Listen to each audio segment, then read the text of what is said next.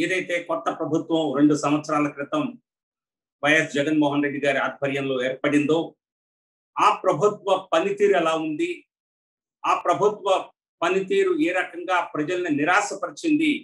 ఇది ప్రజలకు తెలియజేయవలసిన బాధ్యత ఒక ప్రతిపక్ష పార్టీగా మాపై ఉన్నది. భారతీయ జనతా పార్టీకి అసెంబ్లీలో మరి ఆంధ్రప్రదేశ్ నుంచి స్వతహాగా లోక్సభలో ప్రాతినిధ్యం లేకపోయినప్పటికీ దేశ స్థాయిలో అత్యధిక అత్యంత పెద్ద పార్టీ దేశ రాజకీయాలని శాసించేటువంటి పార్టీ దేశ కేంద్ర ప్రభుత్వాల్లో అధికారంలో ఉన్నటువంటి పార్టీగా రాష్ట్రంలో కూడా ఒక ప్రత్యామ్నాయంగా ఎదగాలని జనసేనతో కలిసి ప్రయత్నించే పనిచేస్తున్నటువంటి పార్టీగా మాపై బాధ్యత ఉన్నది.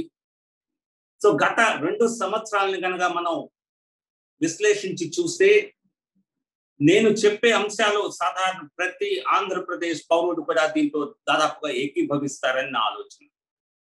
ఎందుకంటే మీరు మూడు వాక్యాల్లో నేను ఈ ప్రభుత్వ పనితీరుని గత రెండు సంవత్సరాల్లో ఈ ప్రభుత్వ పనితీరు ఎలా ఉన్నది అన్నది కేవలం మూడు వాక్యాల్లో చెప్పే ప్రయత్నం చేస్తాను. మొదటిది ఈ ప్రభుత్వ గత రెండు సంవత్సరాల కాలంలో మీరు చూస్తే పరిపాలన తక్కువ ప్రతీకార ధోరణి ఎక్కువ. ఇది స్పష్టంగా మీకు రెండు సంవత్సరాల్లో మొదటి రోజు నుంచి ఈ రోజు వరకు మీకు స్పష్టంగా కనిపించేది.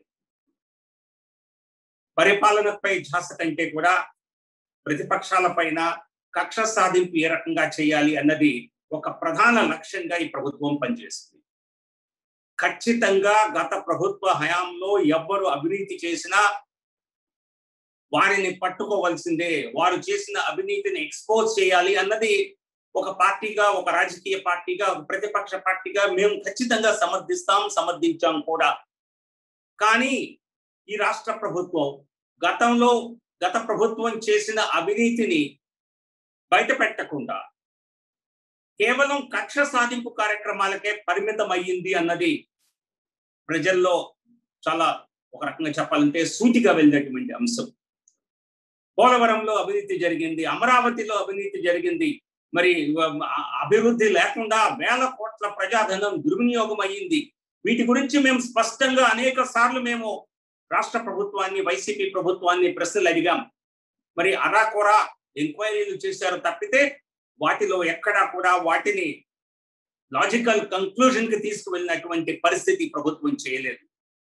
ఎందుకు ఈ ప్రభుత్వం గత ప్రతిపక్షంగా ఉన్నప్పుడు పుస్తకాలు ప్రచురించడంలో చూపించినటువంటి శ్రద్ధ గత ప్రభుత్వంలో అవినీతి చేసినటువంటి దోషుల్ని పట్టుకోవటంలో ఎందుకు చూపించడం లేదు? అన్నదానికి ప్రభుత్వం ఈ రోజైనా సమాధానం చెప్పాలి. మేము చెప్పిన ప్రామిసెస్ ఏదో ఫుల్ఫిల్ చేశామని మీకు మీరు కితాబిచ్చుకోవటం కాదు ముఖ్యమంత్రి గారు. మీరు చేసిన అవినీతి ఆరోపణల్ని మీరు ఇంతవరకు ఎందుకు నిరూపించడం లేదు? ఇక రెండవ విషయం రెండవ వాక్యం. ఈ ప్రభుత్వంలో అభివృద్ధి శూన్యం అభివృద్ధి లేదు. ఈ ప్రభుత్వంలో అభివృద్ధి తక్కువ అప్పులు ఎక్కువ. మొదటిది పరిపాలన తక్కువ ప్రతీకారం ఎక్కువ రెండవది అభివృద్ధి తక్కువ అప్పులు ఎక్కువ. అభివృద్ధి అన్నది శూన్యం. రాష్ట్రంలో మేము అనేక మరి ప్రామిసెస్ చేశాము వాటిని ఫుల్ఫిల్ చేశామని చెప్పి రాష్ట్ర ప్రభుత్వం చెప్పుకుంటోంది తప్పితే ఈ రాష్ట్ర ప్రభుత్వం ఏ స్థాయిలో అప్పులు చేసింది అభివృద్ధిని పూర్తిగా పక్కన పెట్టేసి ఎటువంటి మరి రాష్ట్ర అభివృద్ధికి పనికొచ్చే కార్యక్రమాలు ఏమీ చేపట్టకుండా కేవలం మరి తమ ఓట్ బ్యాంకుని పదిలం చేసుకునేటువంటి కార్యక్రమాలు ఏదైతే ఉన్నదో అవి మాత్రమే చేస్తూ మరి వేల కోట్లలో మరి అప్పులు చేస్తూ ఆంధ్ర రాష్ట్రాన్ని అప్పుల రాష్ట్ర అప్పుల ఆంధ్రప్రదేశ్గా అప్పుల ప్రదేశ్గా ఈ రాష్ట్ర ప్రభుత్వం తీర్చిందంటే ఇది నేను చెప్పే విషయం కాదు. ఇది సిఏజీ రిపోర్ట్లోనే స్పష్టంగా చెప్పడం జరిగింది. ముందు వరుసలో అప్పులు చేసిన రాష్ట్రాల్లో మన రాష్ట్రం ఉన్నాం. ఇలాంటి ఇంట్రెస్టింగ్ వీడియోస్ కోసం తప్పకుండా మా ఛానల్ని సబ్స్క్రైబ్ చేయండి.